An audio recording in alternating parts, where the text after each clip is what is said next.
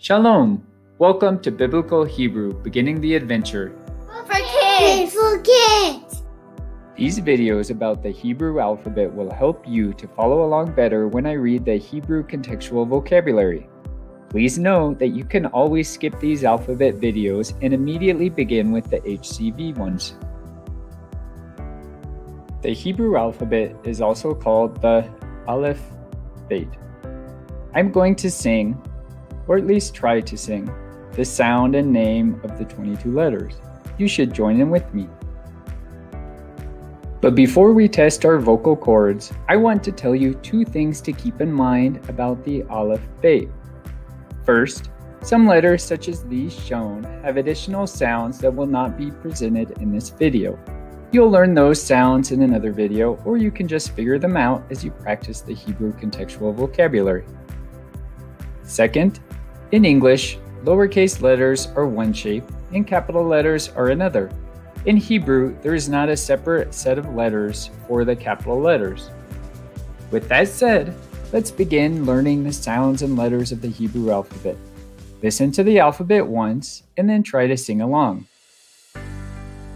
Silent, silent, Aleph, ba, ba, bet, ga, ga, gimel, da, da, dalet ha ha he v v vav z z zayin h h he ta ta tate ya ya yod k k ka l l lamed m m mem n n noon s s samek silent silent ayin p p pe s s sade k k ko r r resh.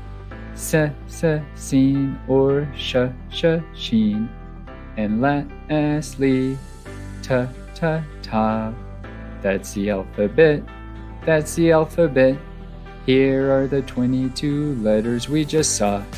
Let's sing together now. You can do it too.